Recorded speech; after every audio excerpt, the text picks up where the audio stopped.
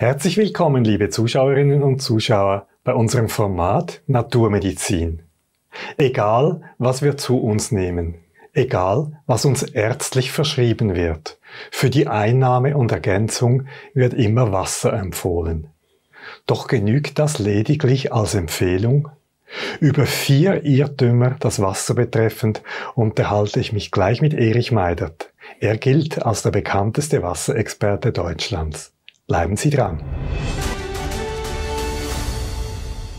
Hallo Erich. Servus. Herzlich willkommen. Habe die Ehre. Habe die Ehre.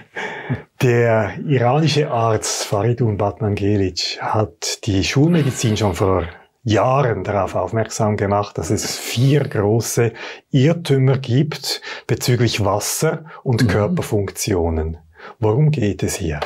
Ja, er hat gesagt, Wasser, du sollst erst trinken, wenn du durstig bist.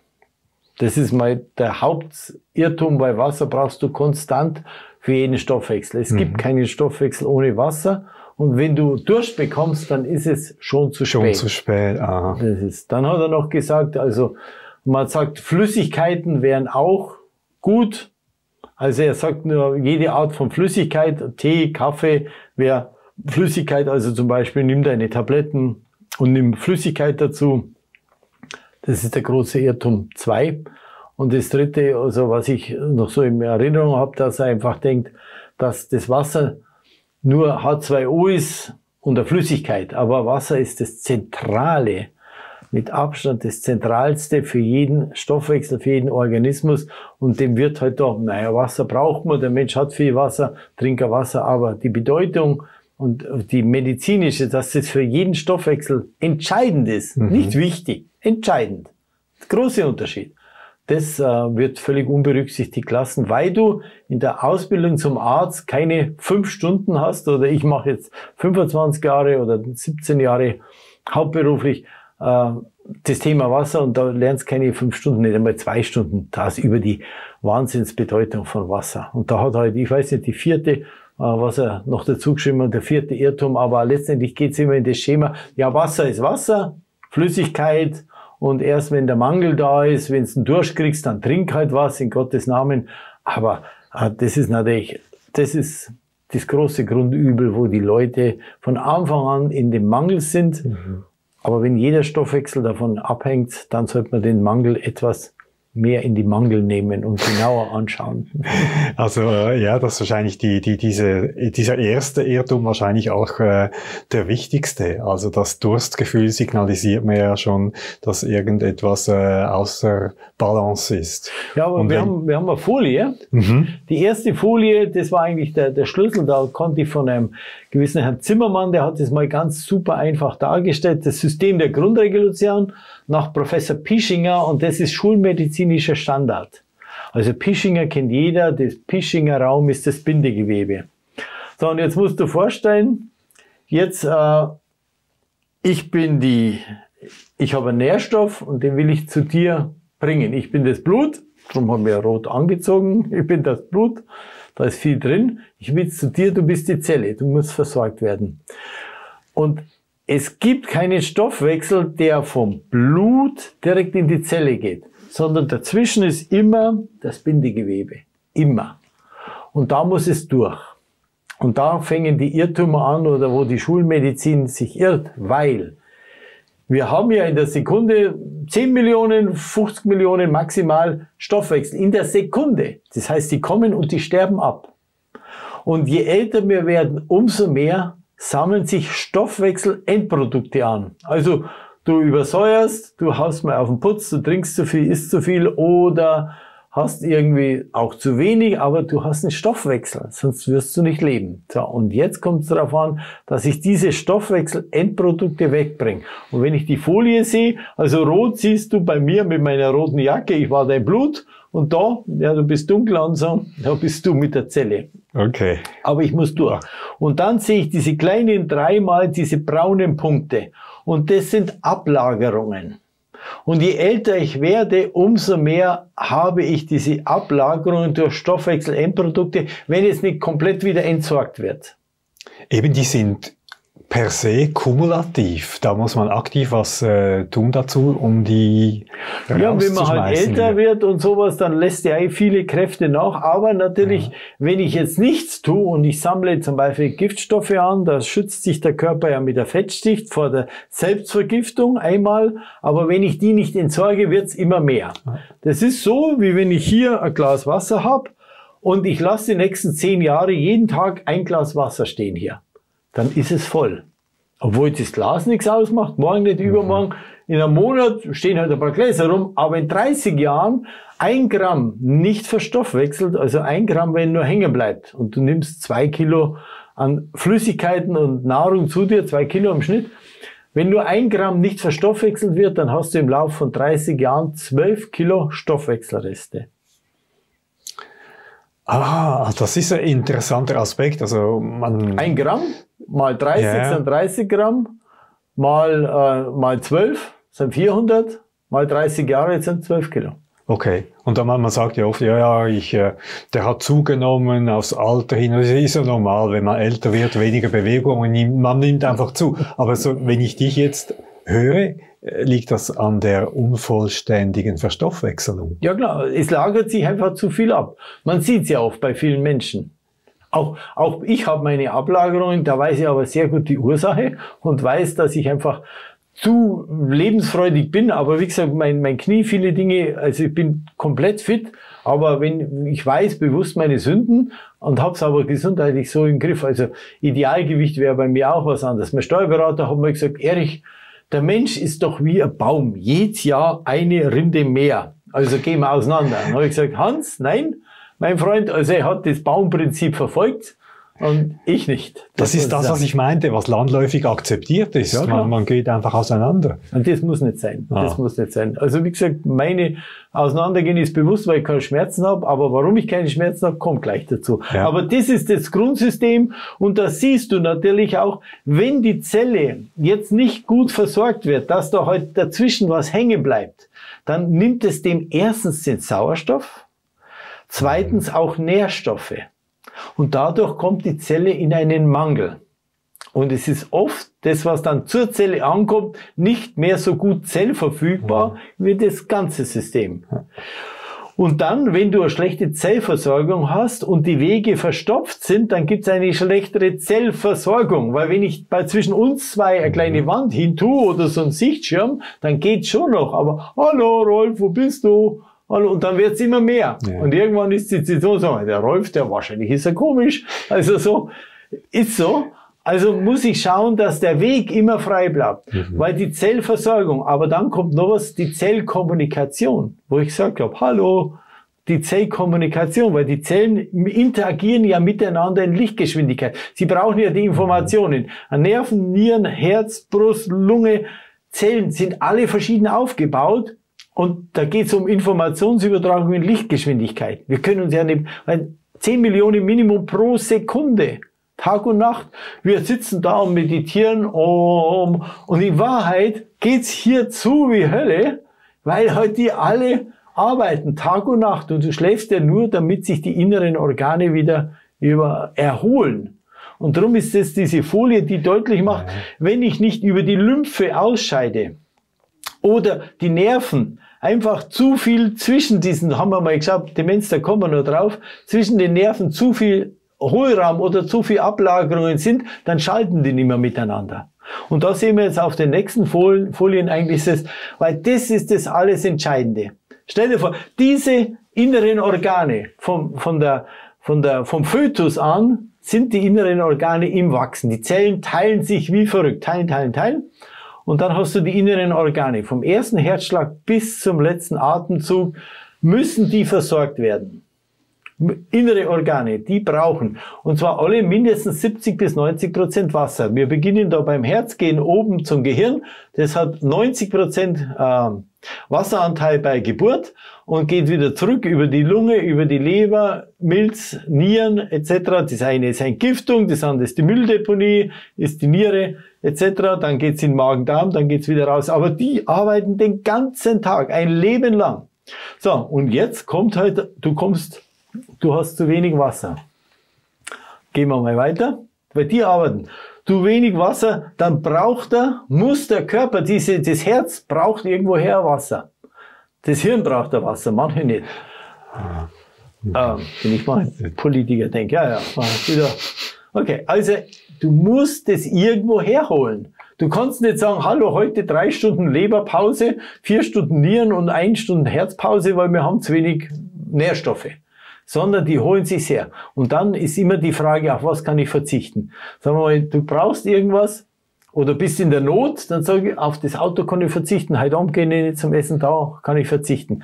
Aber ich muss es irgendwo, muss ich die Kohle oder irgendwas muss ich herbringen. Also holst du das, das Erste, was nicht notwendig ist. Und das nicht Notwendige sind nicht Dinge, die unmittelbar zum Überleben brauchst. Und das fängt halt hier oft im Magen-Darm-Bereich an.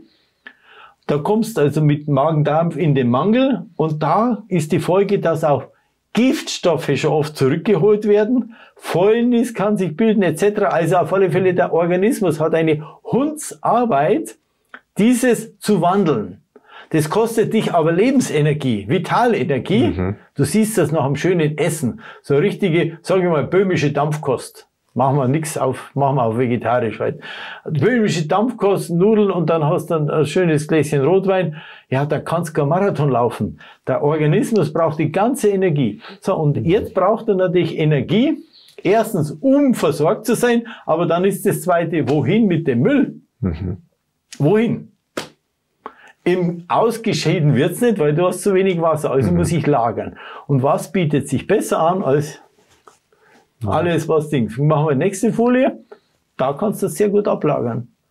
Und ich sehe es ja meine Kollegen, jetzt haben wir 45 Jahre Abitur, Jubiläum, wenn ich sage, Jungs, wir spielen Fußball, oh, meine Hüfte. Der nächste, oh, mein Knie. Der dritte, oh, meine, meine Hüfte, meine Schultern, überall.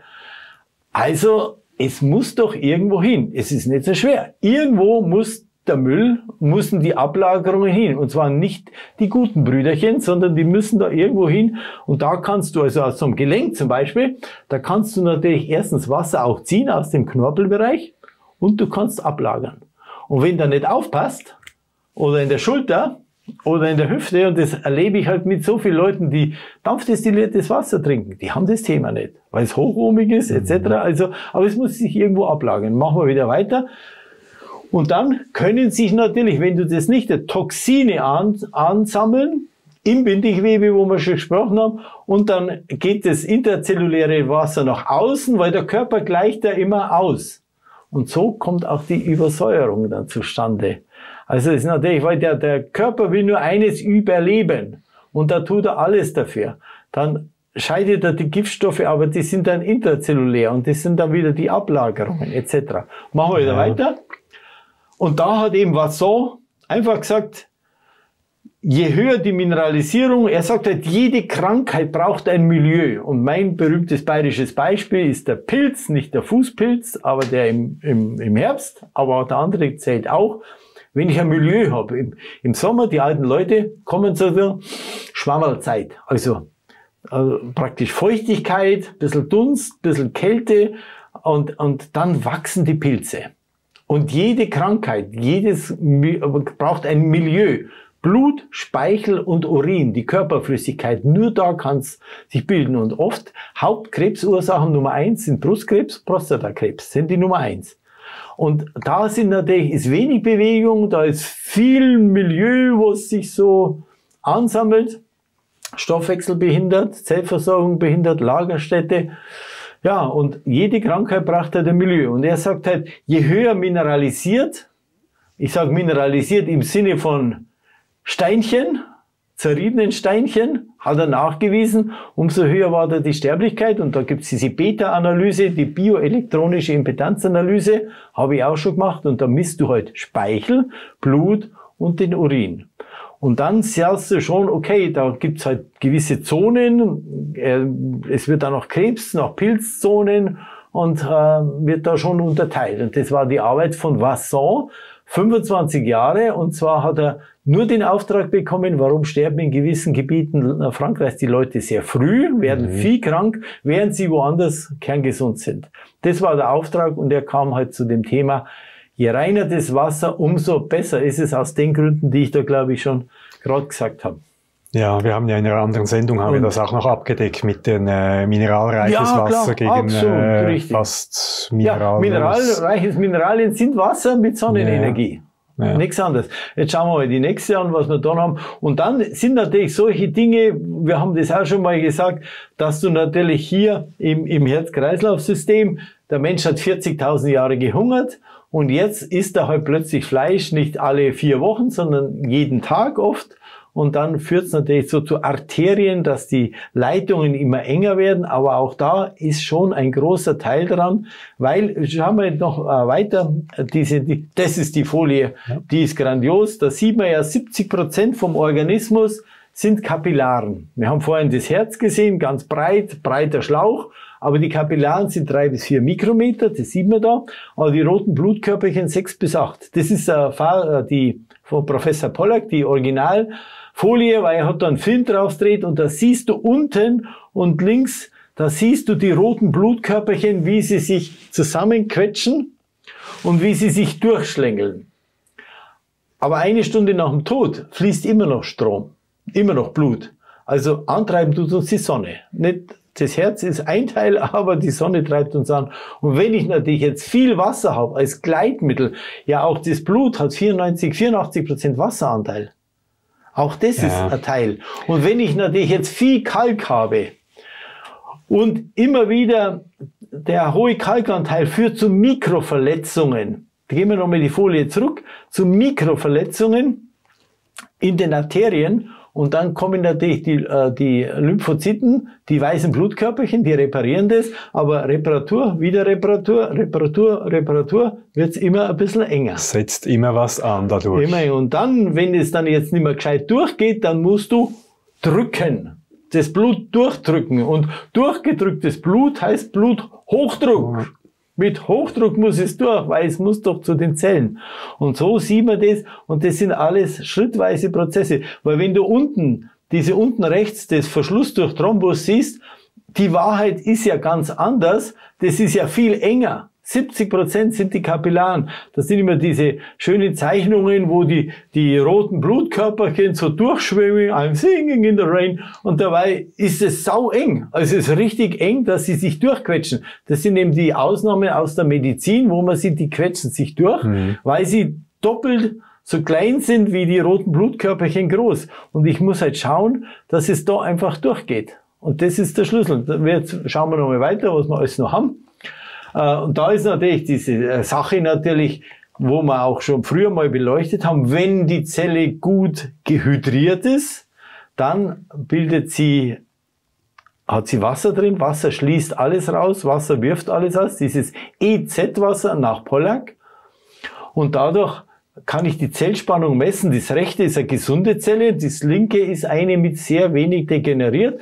Und das, dieses Bild ist gekauft bei Photolia. Wenn du eingibst Krebszelle, dann wirfen sie das aus. Das heißt, die Mitochondrien sind verkümmert und du brauchst einfach das Wasser in der Zelle, damit es einfach diese Zellspannung aufbaut. Eben Professor Pollack, das Buch, weist es absolut nach und jeder weiß mittlerweile die Zellspannungen bis minus 300 Millivolt äh, dann hast du die optimale Zellspannung und daher auch oft dieser Geldrolleneffekt.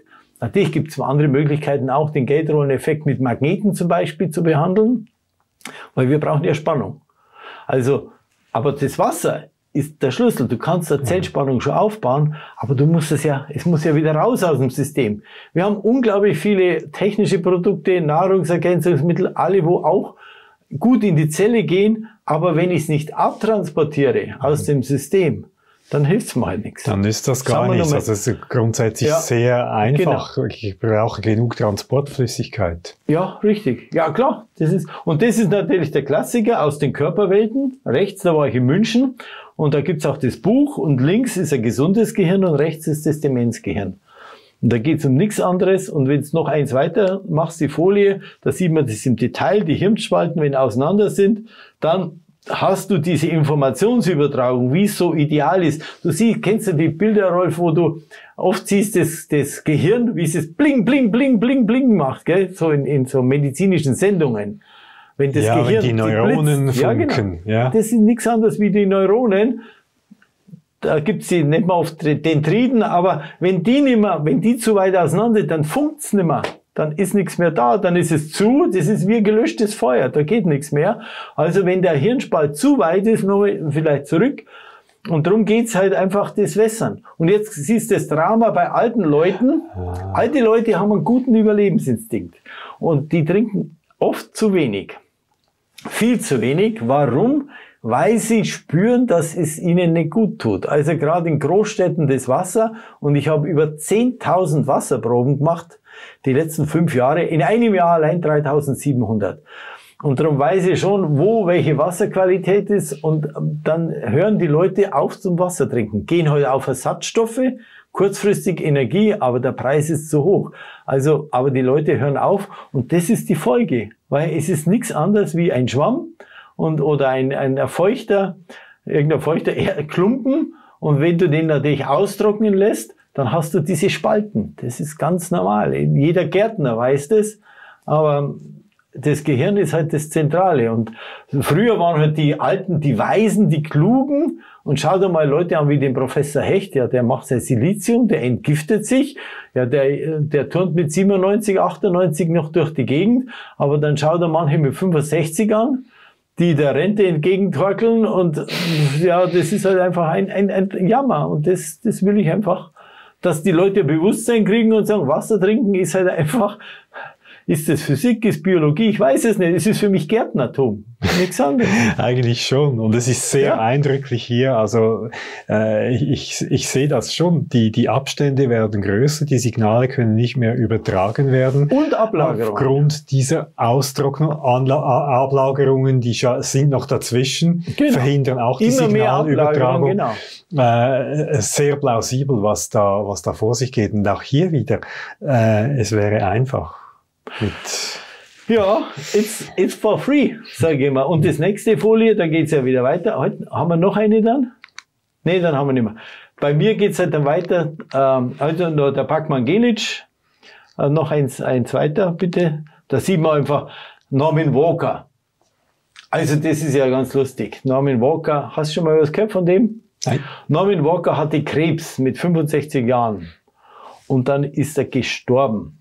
Aber jetzt weiß man nicht mit 116 oder mit 99 Jahren. Was hat Norman Walker gemacht? Also es war ein sehr bekannter Forscher, weil ich sehe manchmal noch in Praxen von Heilpraktikern, sehe ich immer noch Darmbereich von, von, mit, mit Norman Walker.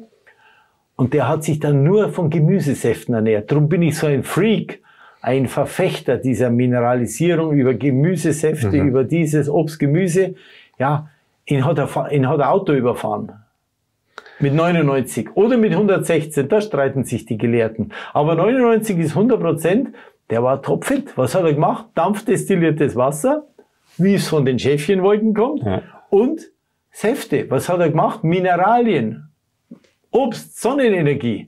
Und das hat ihm genügt. Und das ist eigentlich der Schlüssel. So einfach ist es.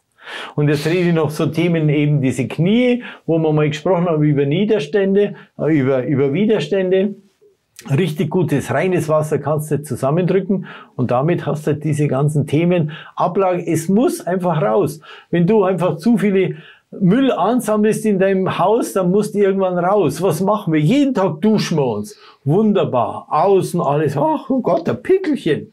Aber innen die Pickel, das muss raus. Mhm. Körperlich, geistig musst du immer auch duschen und innerlich duschen, also innerlich raus damit. Das geht halt leider, es geht nur mit reinem Wasser, nicht mit Rotwein. Das wäre auch mal schön, aber Rotwein gehört zur Förderung der Lebensenergie. Auf einer anderen Ebene und Lebensfreude, was ja auch immer ein, äh, ein Aspekt ist, der dazugehört, was man sich zwischendurch mal erlauben kann. Aber ich, ich wundere jetzt in unserer ganzen Sendungsreihe, wie einfach es eigentlich ist ja. mit Wasser aber man muss es machen und man muss es wahrscheinlich auch bewusst machen. Oder auch diese, diese Fruchtsäfte. Man, man kann sich ja bemühen, keine äh, belasteten Fruchtsäfte, sondern eben Fruchtsäfte von einer hohen Qualität. Selber machen. Äh, oder, oder selber machen. Also Zitrone ja. auspressen ist wirklich kein Akt. Orange auspressen ist kein Akt. Und so diese kleinen Smoothie Maker, sorry, die kosten 30 Euro. Die anderen kosten 500, wo du die Karotten machst. Auch die kleinen Salate das kostet 30 Euro mittlerweile. Ich habe mir neulich einen gekauft. 30 Euro für den schnellen Smoothie, da tust du ein Spinat rein oder alles, was du, und eine Banane und dann hast du deine Vitamindosis. Herrlich, das ist besser wie jeder Kaffee. Aber der Kaffee dazu schadet ja auch nichts. Das ist doch das Schöne an der Vielfalt. Vielfalt statt Einfalt. So ist es. Gerade wieder mal so ein grandioses genau. Schlusswort von dir. Äh, wo können wir uns jetzt da noch weiter informieren zur Vertiefung des Themas? Nee, also wir sind da medizinisch schon ziemlich gut unterwegs. Wir dürfen natürlich nichts äh, Medizinisches sagen, mhm. aber wir können sagen, wie viel ist zwei plus eins? Okay. Besser wie keins. nee, also das bei Mr. Water einfach, wir haben gute Leute, die einfach diese Beratungen durchführen. Wir machen keine Hausbesuche, aber je kritischer einer ist und je mehr er nachfragt, umso genialer ist es, weil sein Wort zählt mehr. Das ist das kleine Hinterfotzige bei uns, dass wenn du kritisch bist, und trotzdem würde ich überzeugen mit diesen Dingen und du machst sowas und gehst zu deinem Nachbarn, der wird nicht viel fragen, weil der weiß, auf den Rolf kann ich mich verlassen, der ist kritisch, der hinterfragt mich und das bringt dich ja weiter. Verstehst? Wenn ich gefördert werde, gefragt, hinterfragt wird, oh, was ist der Unterschied zu dem und warum macht ja, er genau. das und das nicht? Ich wachse ja. Du wächst mit den Hindernissen. Darum ist es einfach wichtig zu akzeptieren, dass ich bin auch nur ein kleiner Teil, aber lebenslanges Lernen, das macht Spaß und dann kriegst keine Kopfschmerzen, gar nichts. Das, da hast du keine Zeit für Depression. Ja, und genug Wasser dazu. Ja, freilich, das, und, und sonst säufst du ab. Also ohne vertrocken ist im wahrsten Sinne des Wortes. Ja, Erich, äh, schön, dass du zu uns gekommen bist. Herzlichen Dank für diese für wertvollen Informationen. Danke. Liebe Zuschauerinnen und Zuschauer, ich hoffe, wir konnten Ihnen wieder etwas Neues vermitteln. Vielleicht gibt es einige Wiederholen. Es geht immer wieder darum, Wasser zu trinken, gutes Wasser zu trinken, gute Flüssigkeiten zu sich zu nehmen. Aber man muss es eben tun. Und in dieser Sendung haben wir einige Mechanismen aufgezeigt mit den Ablagerungen, mit der Demenz, was da Ursachen sein können, was da für Wirkungsvorgänge, was da vor sich geht. Ähm, Schauen Sie sich das vielleicht nochmal genau an mit den Slides in der Sendung, die das sehr gut visualisieren. Bei mir hat es beim einen oder anderen Klick gemacht und äh, ich verstehe heute wieder mehr. Herzlichen Dank für Ihr Interesse an diesem Thema und schauen Sie wieder mal rein bei uns. Vielen Dank und auf Wiedersehen.